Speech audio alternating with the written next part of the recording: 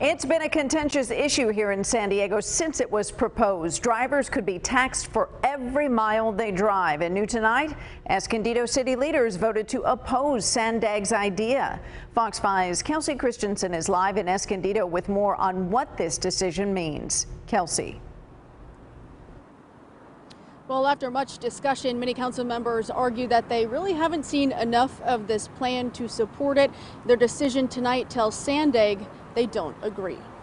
Taxes need to be voted on by the voters. In a split 3 to 2 vote, the Escondido City Council approved a resolution to oppose Sandag's proposal to tax drivers per mile to fund an ambitious 30 year, $160 billion proposal, which would include no cost public transportation and a 200 mile long regional rail network. Drivers would pay 4 cents per mile public transportation would be paid for on the back of those who drive and don't use public transportation. The roads themselves, uh, again, the revenues are, are de declining. I mean, we're giving a pass to uh, electric vehicles.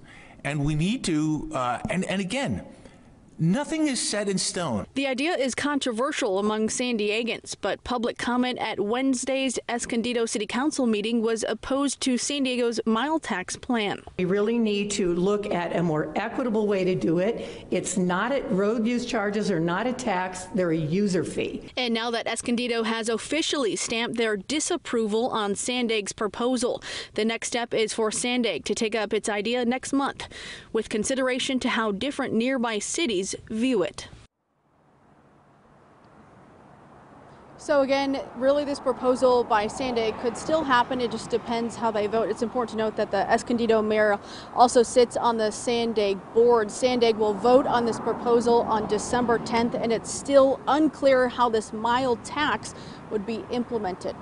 Reporting live from Escondido, Kelsey Christensen, Fox 5 News. And it appears to be a hard sell. Thank you so much, our Kelsey Christensen tonight.